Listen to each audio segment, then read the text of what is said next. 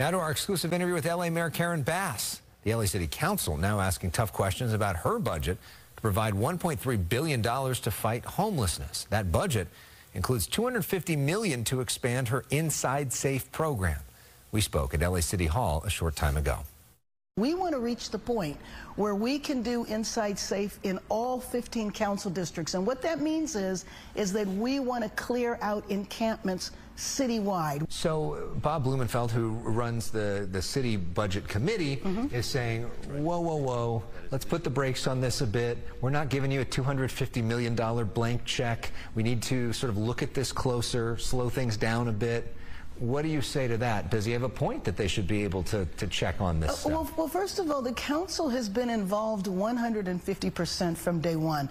In other words, when we see an encampment, most of the time, it's the council that has said, please help us deal with this encampment. And so that's where we go and why we go. And we are most certainly not asking for a blank check. I think in the beginning, the council wasn't sure exactly what the breakdown of the 250 million was, and so we've provided that.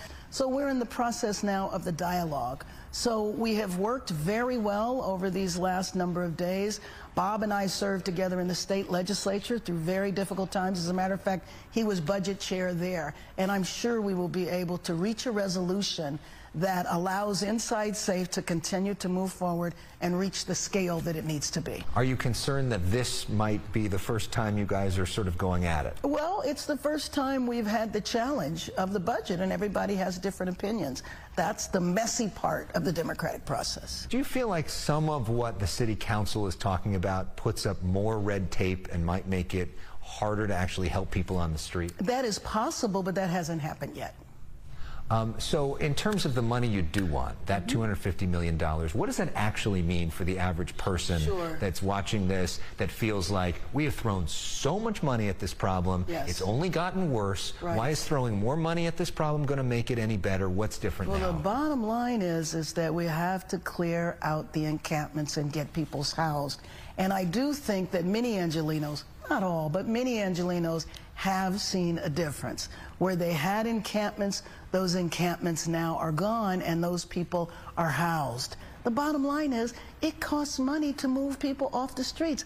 I don't think Angelenos mind spending the money when they see the difference. And most of that money you're talking about would go towards hotels, motels, potentially so buying hotels, exactly, motels. Exactly, because you know the, the, the great lesson from these last 150 days is that we need an infrastructure in our city of interim housing that is permanent.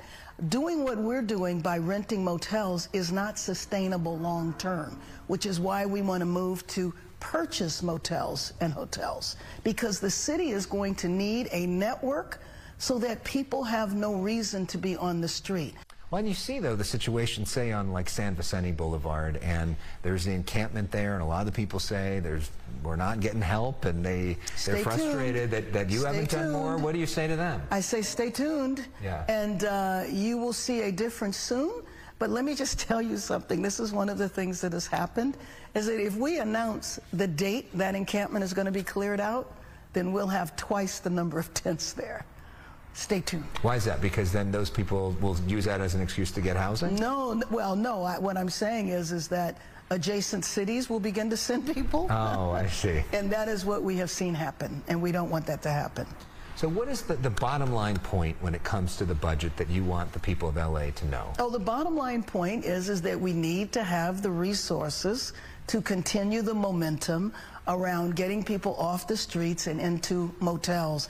But here's the thing, Elex, and this is what really worries me, is that we need to then move people from the motels to permanent housing, not just interim, but permanent.